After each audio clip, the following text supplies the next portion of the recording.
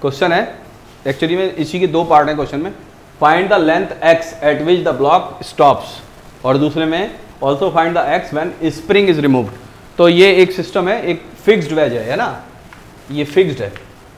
इसके ऊपर एक एम मास का ब्लॉक है जो यहाँ पर रखा हुआ है। स्मूथ सरफेस पर ये बेसिकली लुढ़कता हुआ आता है। इसको आप ऐसा समझो, एक चौथाई सर्कुलर है ना? या स्फेरिकल इस पर ये लुढ़कता हुआ आता है। कितनी हाइट तक?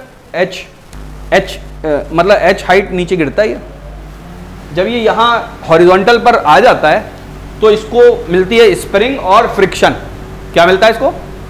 स्प्रिंग और फ्रिक्शन दोनों यहीं से स्टार्ट होते हैं। और जो हमें एक्स कैलकुलेट करना है ना, वो यहीं से करना है। अब स्प्रिंग भी रोकेगी इसको और फ्रिक्शन भी रोकेगा। बात समझ में आ रही है? स्प्रिंग भी रोकेगी। इससे पहले हमने आपको सवाल करवाया था काय पे? सिर्फ़ स्प्रिंग थी। फ्रिक्शन नहीं था। तो तीनों सवाल हो जाएँगे।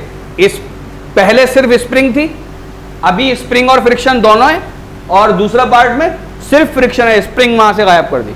तो तीनों तरीके के सवाल इस तरीके के हो जाएँगे, ठीक है? अगर रिलीज़ किया गया।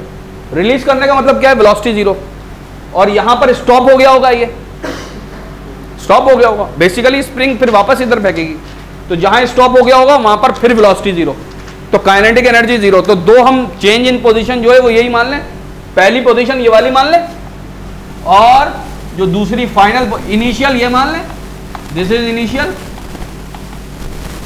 okay and this is final so that we will equate the change in kinetic energy as zero.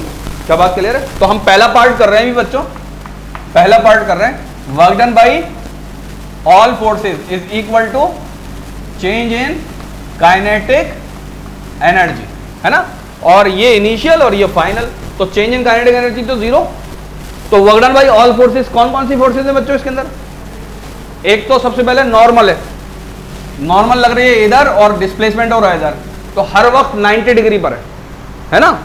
सारी फोर्सेस लिखें अलग अलग करके लिखते हैं। Work done by normal plus work done by M G conservative force है ना? वर्क डन बाई स्प्रिंग भी होने वाला है। वर्क डन बाई स्प्रिंग है ना? ये दोनों कंजर्वेटिव हो गई। और बताओ? वर्क डन बाई फ्रिक्शन आ जा वर्क डन भाई इधर बैठ। बेटा ये पीछे रख दो टेबल पे रख दो।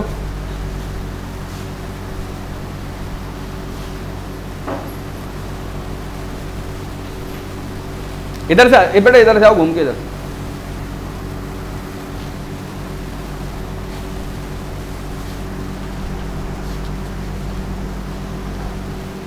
वर्क डन बाई फ्रिक्शन ठीक है?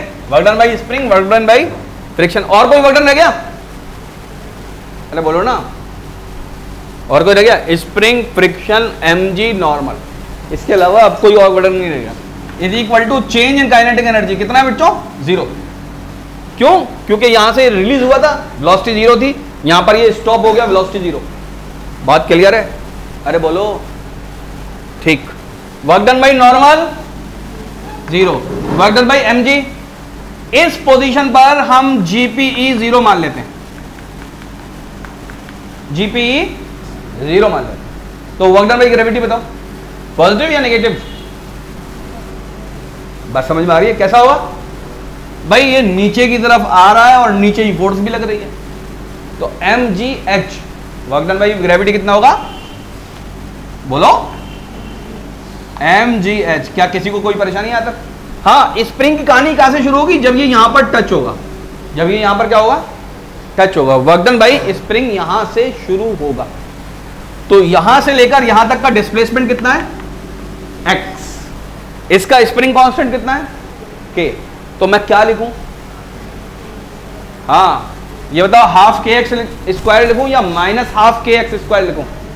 हाँ बोलो जरा जल्दी से। देखो पोटेंशियल एनर्जी लिखते हैं हम, हमेशा कैसी? पॉजिटिव लेकिन वर्कडन कैसे लिखेंगे? लिखेंगे या नहीं यहाँ पर? बोलो। अरे, बात समझ में आती है? माइनस हाफ़ के एक्स स्क्वायर बात क्लियर ओके वर्कडन भाई स्प्रिंग हो गया। वर्क डन बाई फ्रिक्शन बोलो। शाबाश। Minus mu M M G. Burden by friction भी यहीं से लागू होगा। तो एम जी नीचे तो ऊपर। यहाँ पर यहाँ पर यहाँ पर वेट तो होगा ना इसका, यहाँ पर कुछ? हमने एम को ग्रेविटेशनल पोटेंशियल एनर्जी को ज़ीरो माना है। फोर्स को ज़ीरो नहीं माना वेट ज़ीरो थोड़ी हुआ है। एम नीचे तो नॉर्मल ऊपर। बात समझ आई? तो फ्रिक्शन किसके बराबर होता है? Mu M G mu M G और किससे मल्टीप्लाई कर दें एक्स किससे मल्टीप्लाई कर दें एक्स बात क्लियर है? म्यू एम जी एक्स बात क्लियर है? ठीक है? म्यू एम जी कॉन्स्टेंट है constant force multiplied by X is equal to zero निकालना क्या है बच्चों हमें? निकालना हमें यहाँ पर क्या है? हाँ क्वाड्रेटिक इक्वेशन बन चुकी है। Half K X square plus mu M G X minus M G H is equal to zero हमें निकालना यहाँ पर क्या है बच्चों? एक्स निकालना है। तो कुछ नहीं है, आप क्वाड्रेटिक फॉर्मूला लगा देते हैं इसके अंदर। बात समझ में आ गई नहीं? क्वाड्रेटिक इक्वेशन है। तो इसके अंदर एक्स निकालने के लिए एक्स किसके बराबर होगा? जरा जल्दी से बताओ। Minus B mu M G mu M G plus minus plus minus तो हम सिर्फ़ प्लस लिखेंगे। हम सिर्फ़ क्या लिखेंगे? प्लस क्योंकि यहाँ पर माइनस लगाने का मतलब क्या है? आ, कि पूरी value negative X will not be negative okay ठीक है? जरा जल्दी से बताओ। Mu square M square G square B square हो गया? Minus four A C minus four into A into C C में फिर माइनस लगा हुआ है तो यहाँ पर हम प्लस लगा देते हैं। तो four into one by two K X square oh X square क्यों आया K one by two into K into M G H क्या बात क्लियर है? ओके डिवाइड किससे कर दूँ जरा जल्दी से बताओ इसको? Two into A two into one by two K okay this is the answer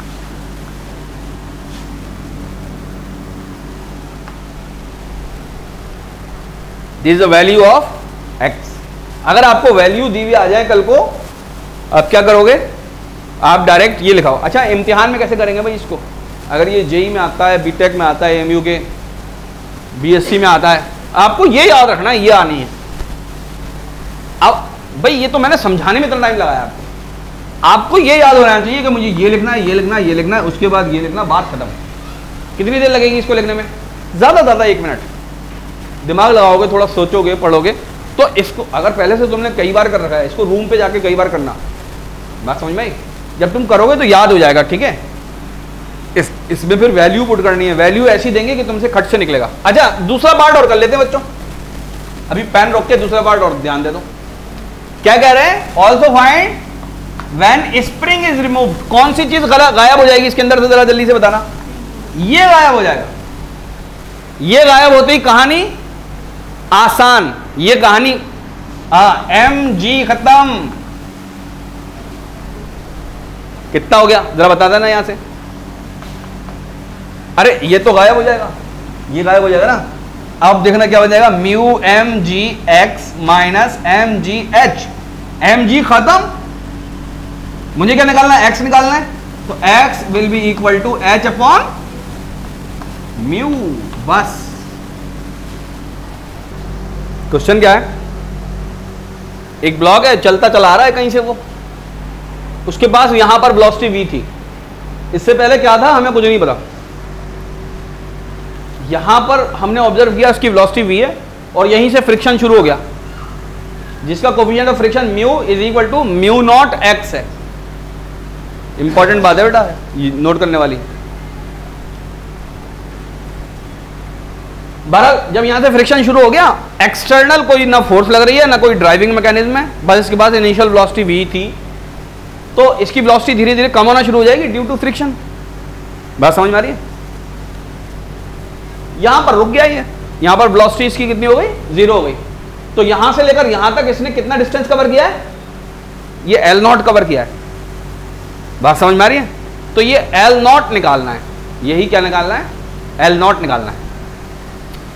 तो इसके सॉल्यूशन करते वक्त बच्चे बेसिक मिस्टेक क्या करते हैं वो बता रहा हूँ आपको। सॉल्यूशन करते वक्त बच्चे क्या करते हैं? वर्कडन किसके बराबर होता है? फोर्स इंटू डिस्प्लेसमेंट तो वर्कडन का फार्मूला लिखते हैं, शान से। किसके बराबर?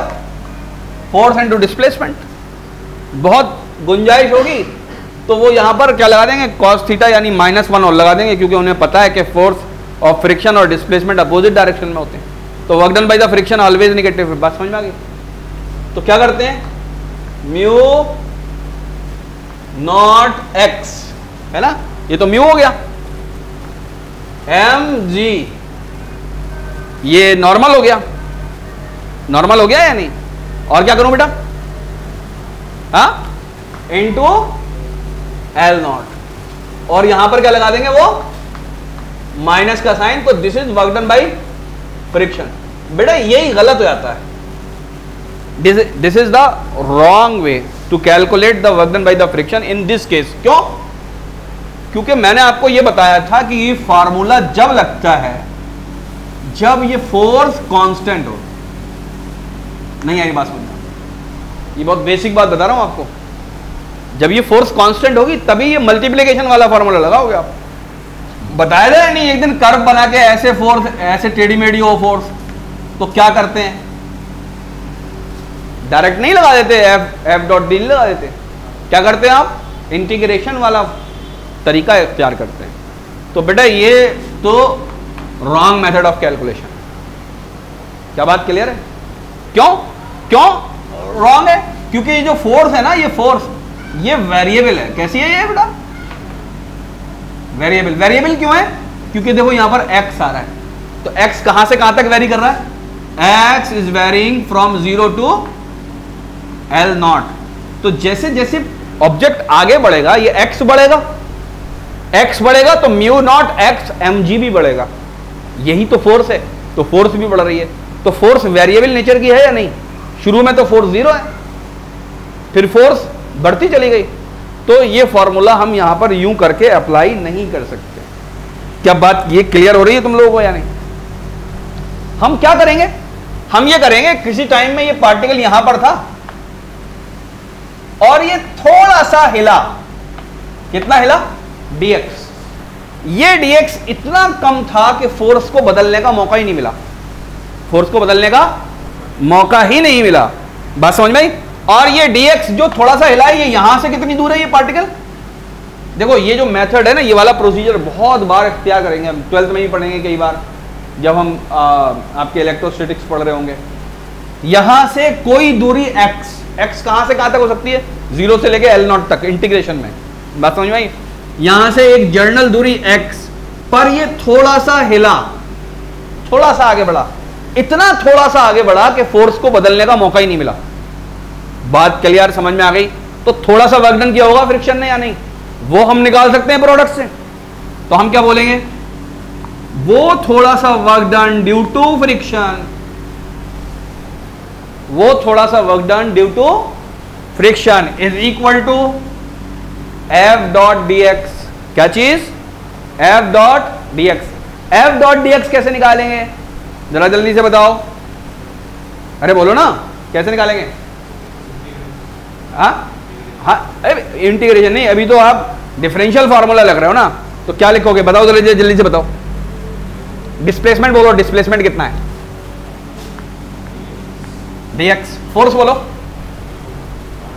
देखो, यहाँ तक पहुँच चुका है ये यहाँ तक पहुँच चुका है। तो क्या होगा? जरा जल्दी से बताओ mu naught X M G. बोलो, आप समझ में आया क्या नहीं? ये फोर्स, कहाँ पर है ये फोर्स? इस पॉइंट पर। इस पॉइंट पर फ्रिक्शन फोर्स कितनी है? ये है। और ये छोटा सा डिस्प्लेसमेंट हुआ है। तो छोटा सा वर्क डन होगा या नहीं? अच्छा जहाँ कहीं भी ये दिखता है हमको तो हम ये लगा देते हैं, नहीं लगा देते। हाँ भाई, लिमिट बोलो। ज़ीरो से लेके एल नॉट। है ना? ज़ीरो से लेके एल नॉट यहाँ मत लगाओ, यहाँ लगी। बात समझ में आ रही है ये क्या मिलेगा?